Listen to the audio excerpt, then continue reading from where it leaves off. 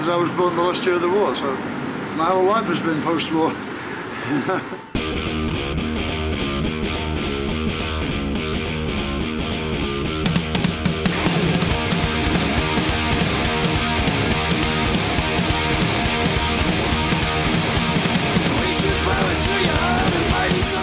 And the only reason I got into this shit is for women. Because all these guys had these chicks screaming at their feet. I thought, well, that, should, that looks like a good job.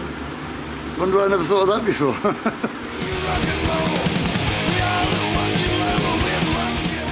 we moved to Wales, Anglesey, and I was in a couple of local awful bands, you know, like Yeah.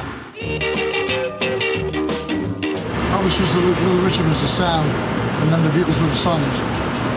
Those are my main influences, I guess.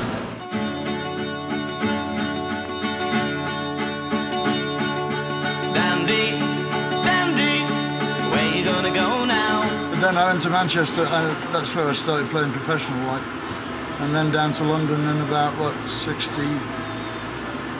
Jesus Christ, I don't know, 66? Yeah, late 66, 67. And then it all went, wee, psychedelia. And I was that soldier.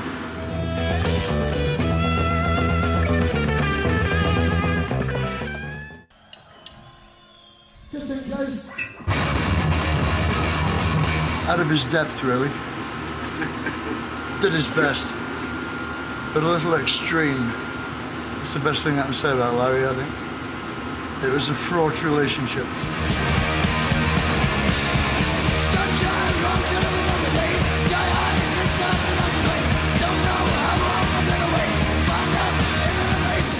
Well, no, I got fired out of all the other bands I was in, so I figured the only way I could stop being fired was if it was my band.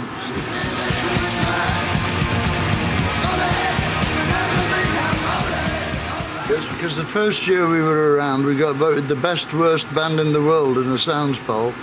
The only time that category was ever in there. And everybody in the world, in the critics' world, said they'd be finished in a year. And I'm still saying fuck you to them. That's, that's a, a big part of it, you know. The other part is I'm not trained for anything else.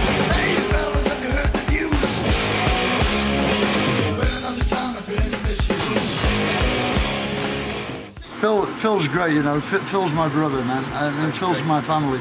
There's nothing I can say about Phil Taylor that's bad, you know, that I don't agree with. Whatever he did is fine with me, you know. Went through a long time with Phil, you know, and like I've seen Phil do things that you can only guess at in your wildest nightmare.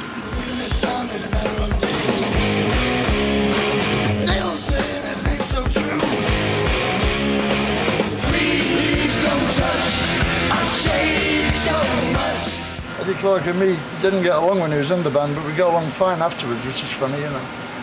I mean, we did for the first couple of years, but then, I don't know, you know, bad habits catch up with people uh, and their brains fry, you know. And I think we were both doing that. And so was Phil, certainly, you know, we were generally fried. So that's what happens. We became three poached eggs, you know.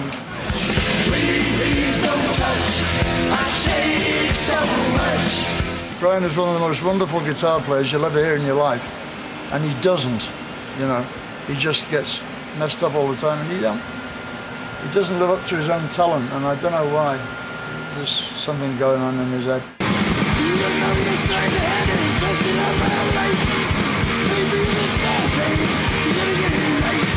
Wurzel, was my best friend in the band for ages, but like, he didn't part well, unfortunately. It was a shame too, because I really, I really like Wurzel.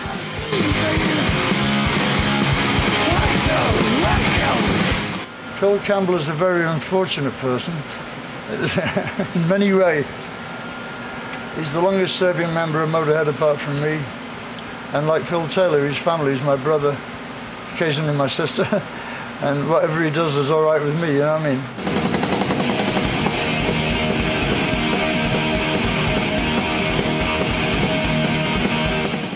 Think Ace of Spades is probably still one of my favourite albums of all time. Peter was another one, see, who got above himself, you know. You know, they're a good laugh at the beginning, then they get weird, you know. I don't know what it is. I first got into Motorhead, it would probably be about uh, 1979. and uh, my pal Sandy McNair gave me a copy of Overkill album, and uh, we went through kind of sort of these kind of mad early 80s summers with uh, loads of speed and cider, and it was a sort of soundtrack really to kind of that time.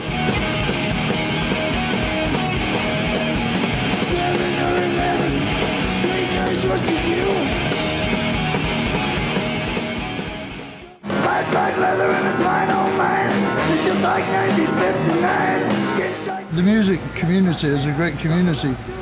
The the business is trying to split us all apart now. You have charts, 16 charts in the back of bloody Rolling Stone, you know. Nobody in the world needs that many charts. There's music you like and the music you don't like. That's the only kind of music there is.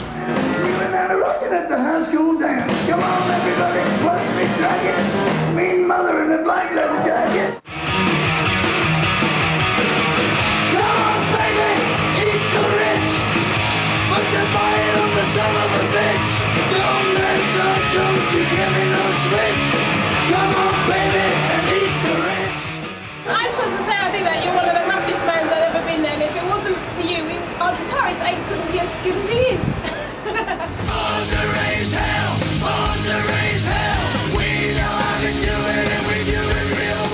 Always demanded artistic control. I will not have anybody in a suit telling me what I should play. You know, because that doesn't even that doesn't even enter my head. You know, on any time.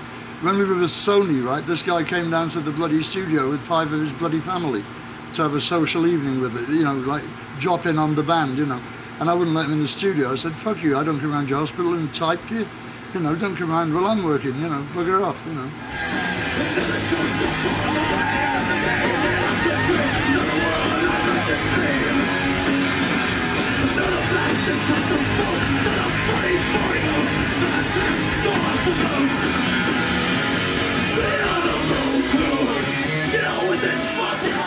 You know, at least Metallica were true to their roots. They admitted their roots, you know, and they said like they came down and played at my birthday party as well, you know, and they did several of our songs at my birthday party on stage, and they recorded them. They did Diamond Head, you know, another influence, and I thought that was great of them, you know, because nobody else ever did that.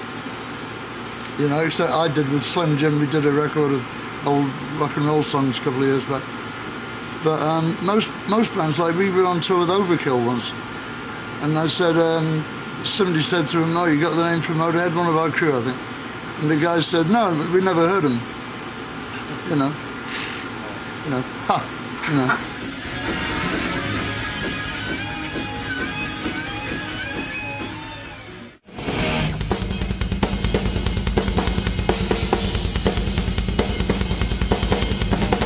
I mean, Mikkey, Mikkey gets very enthusiastic about himself at times, but We all have our moments. we all have our moments. Long time maybe. So, you know, I mean, we've been together a long time now, the three of us.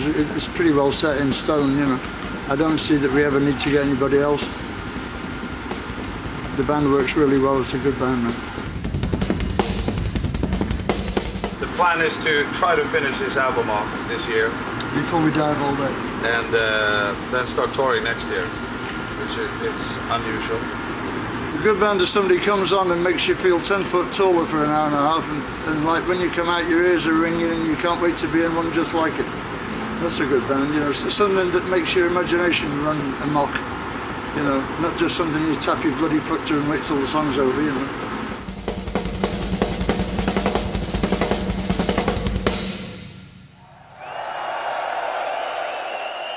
Lemmy, you're a really true legend to rock and roll. We need a lot more people like you around.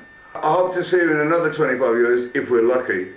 But me and you have burnt a trail that we can't stop but the fire out now. So here's to another 25 years and keep on rocking Lemmy and Motorhead! Yeah! A lot of bands, they all say thanks to the fans and all that, but I, for us, I think it's a little different actually because uh, this is really for real. And the good ones become our friends too, you know. I mean, they, they come backstage regular, regular basis. They get on every show for free, because you know, they're worth every every penny they spent on us. You know, they're worth it in gold. You know.